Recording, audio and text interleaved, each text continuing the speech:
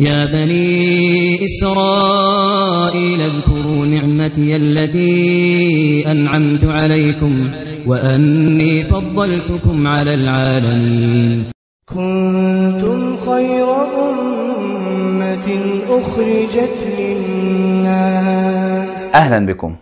أكبر خطر واجه الإسلام منذ نشوءه في المدينة المنورة كان بني إسرائيل. وعلى الرغم من علامات ودلالات النبوة اللي موجودة في التوراة لم يؤمن بالرسول صلى الله عليه وسلم إلا نفر قليل من بني إسرائيل. كانت نظرتهم بوجه عام لكل شعوب الأرض إن هم شعب الله المختار. نعم صحيح. بني إسرائيل هم شعب الله المختار في زمانهم. اختارهم الله ليحملوا منهاجه ولكنهم فشلوا في حمل المسؤولية. قال تعالى في سورة البقرة يا بني إسرائيل اذكروا نعمتي التي أنعمت عليكم وأني فضلتكم على العالمين. والتفضيل هنا مش على الإطلاق ده تفضيل محدد وفي زمان محدد على أهل زمانهم من العالمين من أهل الكفر وعباد الأوثان. وفي الجهة التانية عندنا أمة الإسلام قال تعالى كنتم خير أمة أخرجت للناس. والسؤال دلوقتي مين اللي يكسب؟ بني إسرائيل ولا المسلمين؟ الأفضلية ولا الخيرية؟ خلونا نشوف الموضوع من الناحية اللغوية. التفضيل مصدره فضل والفضل هو الزيادة. هنقول مثلا فضل عمرو على زيد. كده الجملة معناها ناقص. لازم نحدد الوجه اللي فيه التفضيل فنقول فضل عمرو على زيد في العلم. وده ما يمنعش إن زيد يفضل عن عمرو في وجه آخر. هنقول فضل زيد على عمرو في المال. على الوجه الآخر نجد أن الخيرية تفيد العموم. مثلا لما أقول عمرو خير من زيد. كده معنى الجملة تام. ومعناه إن عمرو في العموم خير من زيد. فالخيرية لأمة الإسلام أشمل من الأفضلية لبني إسرائيل. وتاني حاجة بالعقل كده كيف يفضل بني إسرائيل على الأمة المحمدية؟ وقد أمروا باتباع الرسول الكريم صلى الله عليه وسلم والدخول في الإسلام.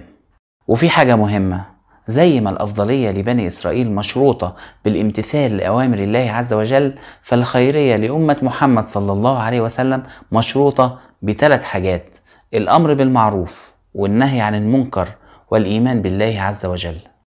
كنتم خير أمة أخرجت للناس تأمرون بالمعروف وتنهون عن المنكر وتؤمنون بالله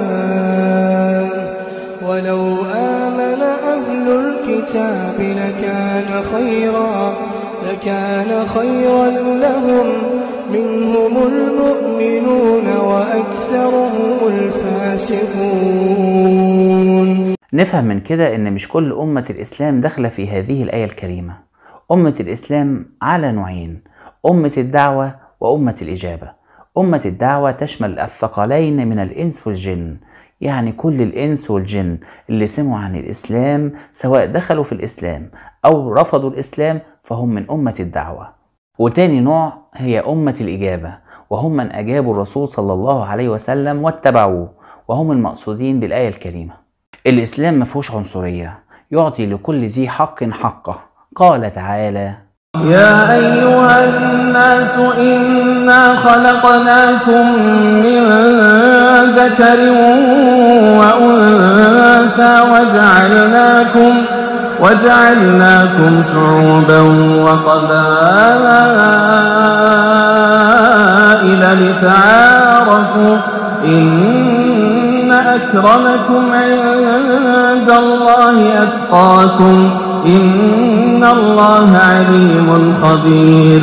هنيجي دلوقتي بسرعة للنصوص المقدسة في الإسلام واليهودية. في الإسلام عندنا القرآن الكريم والسنة النبوية المطهرة وفي اليهودية عندنا التوراة وهنستشهد كمان بالإنجيل. في القرآن الكريم ذكرت خيرية الأمة الإسلامية في الآية اللي قلناها قبل كده كنتم خير أمة أخرجت للناس وكذلك وهب الله عز وجل الأمة الإسلامية الوسطية والاعتدال وجعلهم شهداء على الناس يوم القيامة. قال تعالى وكذلك جعلناكم أمة وسطا لتكونوا شهداء على الناس لتكونوا شهداء على الناس ويكون الرسول عليكم شهيدا. وخد عندك بقى في السنة النبوية المطهرة. قال رسول الله صلى الله عليه وسلم أنتم توفون سبعين أمة أنتم خيرها وأكرمها على الله. وارجع واكد هنا إن الخيرية مش لأمة الدعوة الإسلامية ولكنها لأمة الإجابة. وعلى الجانب الآخر في العهد القديم في التوراة في سفر التثنية إنهم أمة عديمة الرأي ولا بصيرة فيهم. عندنا مثال آخر في سفر إشعياء. الثور يعرف مالكه والحمار صاحبه الذي يعرفه. أما إسرائيل فلا يعرف شعبي لا يفهم. وفي العهد الجديد ذم المسيح عليه السلام اليهود وقال يا أورشليم يا أورشليم يا قاتلة الأنبياء وراجمة المرسلين إليها. وبرضو أرجع واكد إن مش كل بني إسرائيل مقصودين بهذا. المقصود بهذا من كفروا بالرسل ولم يتبعوا المسيح عليه السلام.